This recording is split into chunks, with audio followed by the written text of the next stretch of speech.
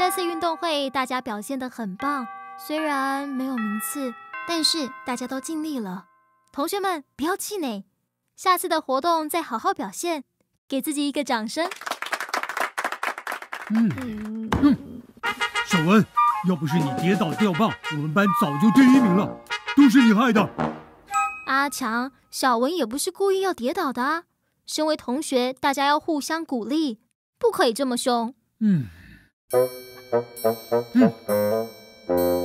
我跟你们说，我们等等把小文的东西藏起来，让他找不到。好啊，感觉好好玩。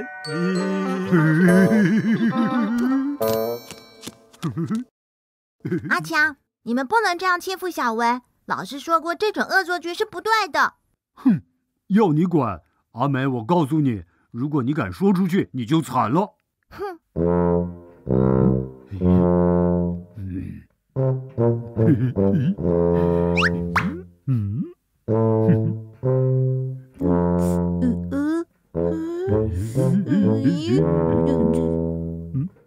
接下来就脏鬼，好恶心哦！新闻！他们怎么可以这样？如果看到同学被欺负，记得要来跟老师说哦。我要去告诉老师。我的桌子怎么变这样？阿梅，怎么了？老师，老师，阿强他们一直欺负小文，我实在看不下去，所以来跟老师报告。阿梅，你的做法是正确的，他们已经不是第一次了。老师这就去请学务处协助处理。你们三个为什么一直欺负小文？我我们我们只是跟小文玩而已，而且他又没有说他不喜欢。对啊，只是好玩而已。虽说小文没有说出口，但欺负同学就是不对的。你们有没有想过，这些你自己认为好玩的事，很有可能会伤害到对方呢？比赛输了虽然可惜。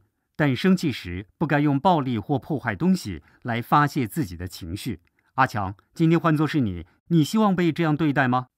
嗯，你们欺负小文的情形可能会构成霸凌行为。为了警惕你们，老师会安排校园服务。如果再不好好反省，继续有欺负同学的事情，学校就会启动霸凌事件程序来处理。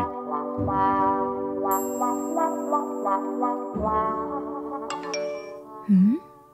大家对不起，因为我让大家没办法拿第一名，我很抱歉。小文，没关系啦，我们 carry 你，下次再一起加油。哼，这次就算了，我下次再教你跑了。下次我们一定得第一。谢谢大家，我会努力的。班上的同学都是一体的，同学之间应该要彼此尊重与包容。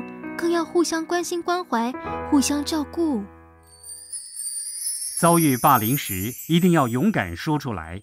你可以向老师、家长及好朋友反映，写信给学校投诉信箱，在校园生活问卷中提出，拨打各县市防治校园霸凌专线，教育部防治校园霸凌专区留言。或拨打防治校园霸凌专线一九五三，我会尊重、关心、爱与关怀自己和他人，所以我拒绝霸凌。